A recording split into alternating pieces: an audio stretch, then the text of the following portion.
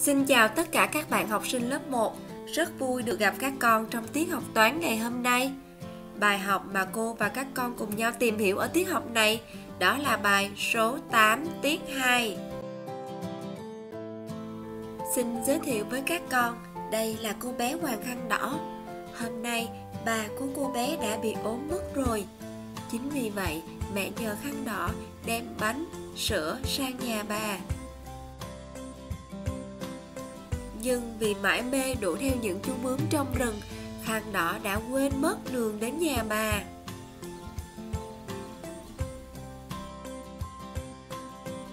Tình cờ khăn đỏ gặp được lớp học của cô cú vọ khăn đỏ liền hỏi cô cú vọ cô ơi, cô có biết đường sang bìa cánh rừng không cô? Cô cú vọ hứa sẽ chỉ đường cho cô bé, nhưng với một điều kiện là cô bé, hãy trả lời tất cả những câu hỏi của cô cứu vợ. Câu hỏi của cô cứu vợ như sau. Hãy dựa vào các khối lập phương có trên bảng để nói cách tách gộp 8 các bạn nhỏ lớp 1 ơi, cô và các con hãy cùng nhau giúp cô bé khăn đỏ vượt qua thử thách này nhé. Đầu tiên, các con quan sát. Chúng ta có 8 khối lập phương, cô viết vào sơ đồ tách gộp sau đó cô tách 8 khối lập phương này làm hai phần. Bên trái cô có 7 khối lập phương và bên phải cô có một khối lập phương. Cô viết tiếp vào sơ đồ tách gộp. Và cô kết luận 8 gồm 7 và 1. Tiếp theo, cô sẽ gộp 7 khối lập phương bên trái với một khối lập phương bên phải cô thực hiện vào sơ đồ tách gộp như sau và cô nói gộp 7 và 1 được 8 Tương tự như vậy, các con hãy cùng nhau thực hiện với những khối lập phương này và nêu to đáp án của mình nhé. Nào, hãy cùng kiểm tra với cô. Đầu tiên, chúng ta có 8 khối lập phương được tách làm hai phần. Cô có kết luận. 8 gồm 6 và 2 cô gộp lại. Và cô có kết luận thứ hai. Gộp 6 và 2 được 8 với những khối lập phương vừa xuất hiện trên màn hình, các con hãy nêu thật nhanh đáp án của mình nha. Nào, cùng kiểm tra với cô nhé.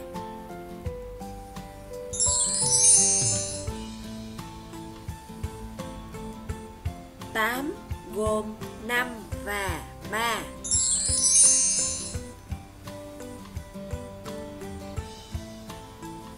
Tiếp theo, gộp 5 và 3 được 8 Bây giờ với những khối lập phương này, Cô mời các con hãy cùng cô nêu thật to đáp án của mình nào.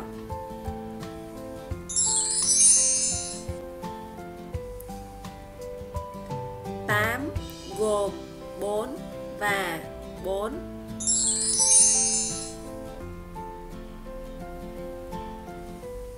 gộp 4 và 4 được.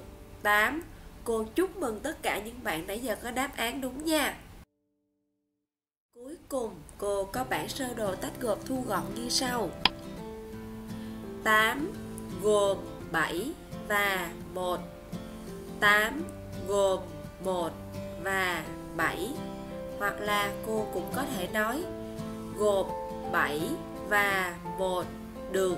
8 Gộp 1 và 7 được 8 Với mỗi sơ đồ tách gộp chúng ta sẽ có 4 cách nói. Tương tự như vậy, các con hãy cùng thực hiện ở những hàng tiếp theo Đều thật to cho ba mẹ của mình nghe nhé.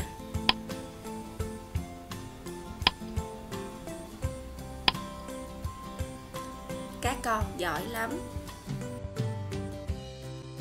Chính nhờ sự giúp đỡ của các con cô bé Hoàng Khăn Đỏ đã trả lời được hết tất cả câu hỏi của cô Cú Vọ và cô Cú Vọ tặng cho cô bé một chiếc bản đồ để đi đến nhà bà.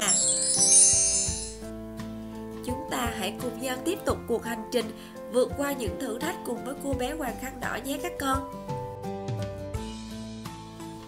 Theo chỉ dẫn của tấm sơ đồ, đầu tiên cô bé hoàng khăn đỏ sẽ đi đến để gặp một chú gấu.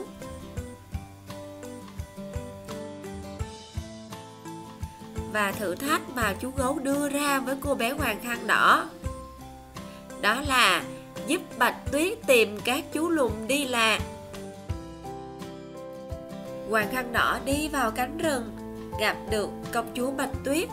Và công chúa bạch tuyết đã nhờ cô bé hoàng khăn đỏ tìm giúp cô ba chú lùn đi lạc nhiệm vụ của cô bé để vượt qua thử thách này đó chính là tìm được dấu lớn, bé bằng để điền vào chỗ trống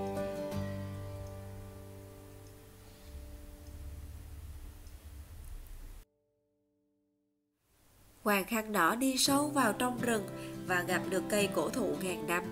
Cây cổ thụ hứa sẽ giúp cô bé tìm được nơi ẩn náu của các chú lùn đi lạc.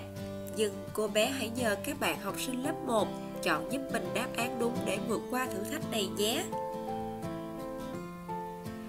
Đầu tiên, hãy so sánh 8 và 5 với ba lựa chọn như sau. Bằng, lớn, bé, các con đã có đáp án của mình chưa nào? Chính xác, 8 lớn hơn 5.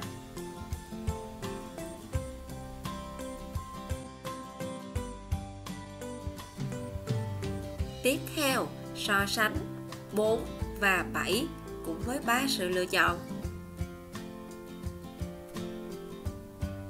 À, cô chúc mừng bạn nào đã có đáp án đúng nha. Đó là 4 bé hơn 7. Chúng ta đã tìm được chú lùn thứ hai rồi nè. Câu hỏi cuối cùng của chúng ta như sau. So sánh 6 và 6 cũng với 3 sự lựa chọn. Cô tuyên dương tất cả những bạn đã có đáp án chính xác giống như cô nha.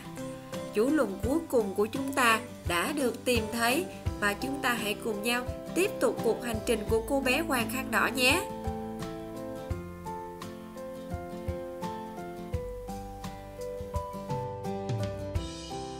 Nhờ tất cả các con, cô bé đã tìm được đầy đủ ba chú lùn đi lạc. Và cô bé tiếp tục đến gặp chú gấu. Được chú gấu trao tặng một chiếc chìa khóa vàng. Vậy chiếc chìa khóa vàng này sẽ có công dụng gì? Chúng ta hãy theo chân cô bé hoàng khăn đỏ nữa nhé. Tiếp theo của cuộc hành trình, cô bé sẽ tìm đến một ngôi nhà. Khăn đỏ tìm được ngôi nhà như tấm bản đồ chỉ dẫn. Và nhờ chiếc chìa khóa chú gấu tặng lúc nãy, cô bé đã mở cửa được ngôi nhà.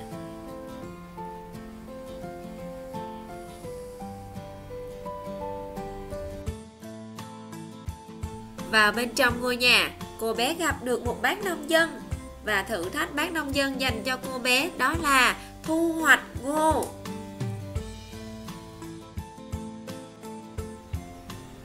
Và câu hỏi ở thử thách này là mỗi con vật có mấy chân? Bác nông dân đã đưa ra những đáp án của mình. Các con hãy giúp khăn đỏ lựa chọn xem đáp án đó là đúng hay sai. Nào, các con đã sẵn sàng chưa? Đầu tiên đó là một chú vịt và bác nông dân đã đưa ra đáp án của mình là chú vịt có hai cái chân. Theo các con, đáp án này là đúng hay sai? Chính xác.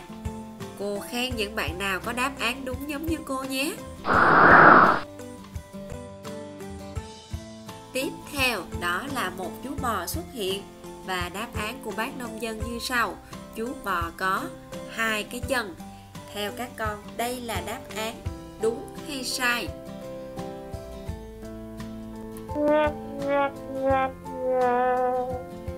Rất giỏi, đây là đáp án chưa chính xác. Và nhờ các con, cây ngô của chúng ta đã ra hoa rồi đó. Vậy đáp án chính xác của chúng ta đó là chú bò có đến bốn cái chân nha các con. Tiếp đến, đó là một chú kiến. Và đáp án của bác nông dân, chú kiến này có 6 cái chân. Theo các con, đây là đáp án chính xác chưa nè.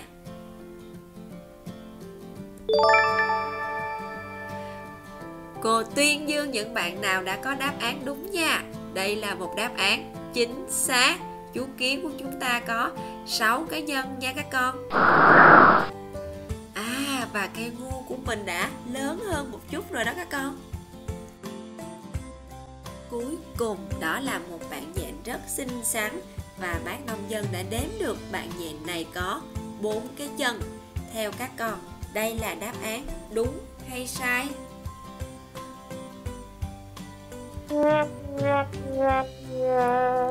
Cô cũng đồng ý với các bạn, đây là một đáp án chưa chính xác à và nhờ sự lựa chọn của các con, cây ngô của chúng ta đã có quả để thu hoạch rồi đó. Đáp án chính xác của chúng ta đó là bạn nhện có 8 cái chân. Cô chúc mừng tất cả các bạn nhé. Cô mời các con quan sát các số chúng ta vừa tìm được. Đó chính là 2 4 6 8 đây là dãy số mà trong đó hai số liền kề nhau hơn kém nhau hai đơn vị đó các con Nhờ đưa ra sự lựa chọn chính xác, cô bé Hoàng Khăn Đỏ của chúng ta đã giúp cho bác nông dân thu hoạch được rất nhiều ngô và bác tặng cho cô bé một chiếc kính lúp. Chúc cô bé có thể vượt qua tất cả mọi thử thách của cuộc hành trình nha. Chúng ta hãy cùng theo cô bé nào.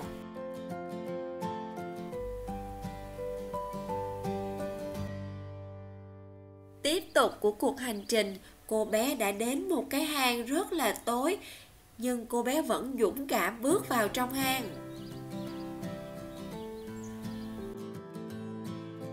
Vừa vào trong hang khăn đỏ gặp gáy một chú sư tử khổng lồ và thử thách sư tử dành cho cô bé đó là truy tìm dấu vết. Khăn đỏ nghĩ gáy đến chiếc kính lúp mà bác nông dân vừa trao tặng cho mình.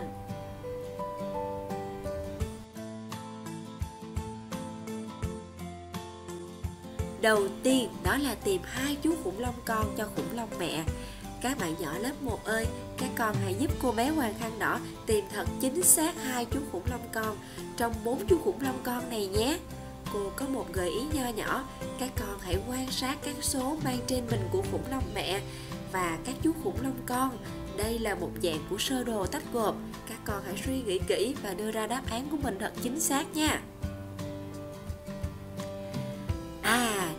Là chú khủng long mang số 5 và 3 chính xác.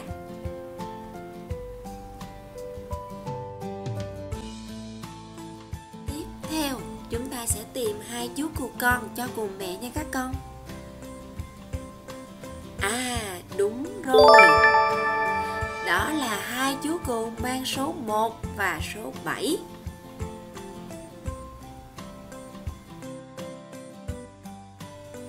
bây giờ chúng ta cùng tìm gà mẹ của hai quả trứng này nha.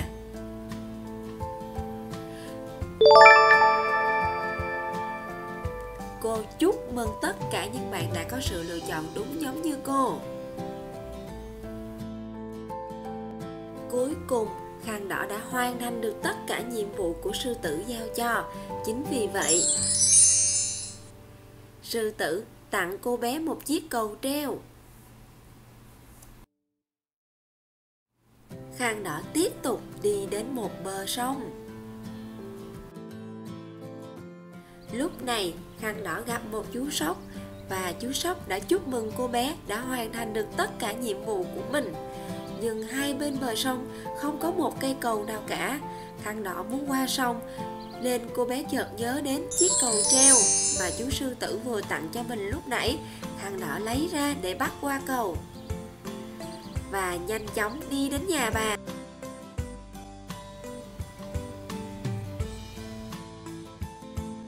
Cuối cùng khăn đỏ cũng đã tìm được đến nhà của bà và hai bà cháu gặp nhau, ôm chầm lấy nhau mừng hôn xiết.